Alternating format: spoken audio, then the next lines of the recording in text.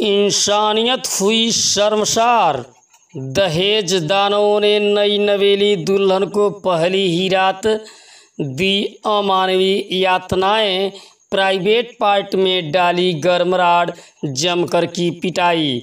मायके वालों को भी जमकर पीटा, पुलिस ने भी नहीं सुनी फरियाद। पीड़ित ने लगाई सीओ से न्याय की गुहार। यूपी के बदायूं में दिल दहला देने वाली ऐसी वारदात सामने आई है, जिसे सुनकर सभी की रूह काँप जाएगी। वहीं पुलिस की कार्यप्रणाली को देख लोगों का पुलिस पर से विश्वास ही उठ जाएगा। जी हाँ दहेज दानवों ने दहेज की खातिर नई नवेली दुल्हन को पहली ही रात न सिर्फ़ उसकी जमकर पिटाई की बल्कि उसके प्राइवेट पार्ट में लोहे की गर्म सरिया डालकर उसे यातनाएँ दी। ससुराली जनों का आतंक यहीं खत्म नहीं हुआ। मायके वाले जब बेटी के घर पहुँचे तो उन पर हमला हुआ। थाना सहसवान के गाँव मुडारी निवासी भूदेव ने अपनी पुत्री उर्मिला की शादी 21 छः 2021 को सुनील पुत्र पीताम्बर निवासी ग्राम उस्मानपुर थाना जरीफ नगर के साथ हिंदू रीति रिवाज के साथ की थी।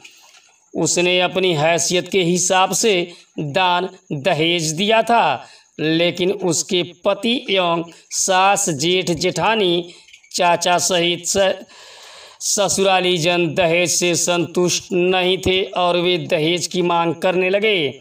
मांग पूरी ना होने से गुस्साए ससुरालियों ने उनकी बेटी को यातनाएँ देते हुए उसके प्राइवेट पार्ट आदि पर गंभीर चोट पहुंचाई, जिससे उसकी हालत बिगड़ गई, जिसका उन्होंने निजी अस्पताल में इलाज कराया, जिसकी हालत गंभीर बनी हुई है।